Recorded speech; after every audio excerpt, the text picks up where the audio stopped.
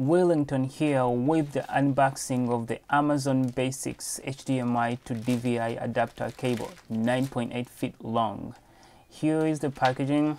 Get it out of here and nothing interesting on this, you know, um, cover or wrap, whatever you call it.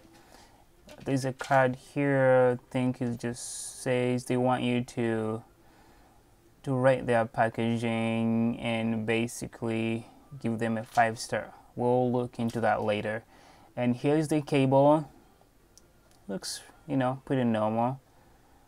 And nothing really to say about it. This is the DVI side right here. Um, it has an Amazon label right there. And this side too, the HDMI side. There's the Amazon label both sides and that's about it. Please subscribe and I will see you in the next video. Peace.